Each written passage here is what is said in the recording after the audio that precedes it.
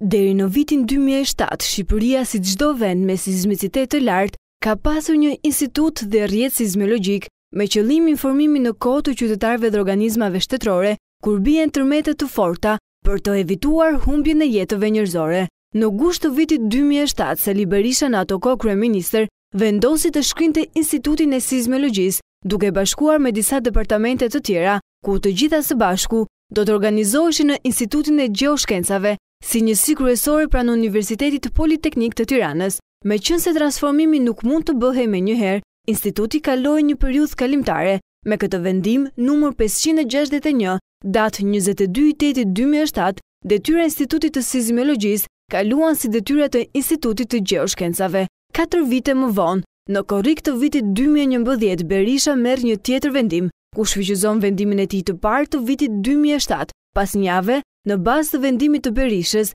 Myqerem Tafaj në atë kohë ministër i Arsimit, firmos një urdhër për krijimin e Institutit të Gjeoshkencave dhe Energjisë, Ujit dhe Mjedisit, si njësi kryesore pranë Universitetit Politeknik të Tiranës. I gjithë misioni i Institutit Sizmologjik deri në vitin dy mijë e shtatë kaloi në dy detyra, për IGJEUM, monitorimi, regjistrimi dhe analizimi i vazhdueshëm i aktivitetit sizmik të vendit, nëpërmjet rrjeteve kombëtare të monitorimit sizmiologjik dhe gjeodinamik, si dhe njoftimin në kohë reale i organizmave shtetërore përgjegjës për emergjencat civile dhe i publikut për rreziqet nga tërmetet, studime të thelluara në fushën e sizmiologjisë dhe të sizmotektonikës për tërmetet që do të godasin vendin tonë. Sot Instituti i Sizmiologjisë është një nga departamentet e Institutit të Gjeoshkencave, Energjisë, Ujit dhe Mjedisit, që vepron nën ombrellën e Universitetit Politeknik të Tiranës. Departamenti i Sizmologjisë ka në përbërjen Rrjetin Sizmologjik Shqiptar, Rrjetin Shqiptar të Lëkundjeve të Forta dhe Rrjetin Gjeodinamik. Rrjeti Shqiptar i Lëkundjeve të Forta disponon tridhjetë e katër stacione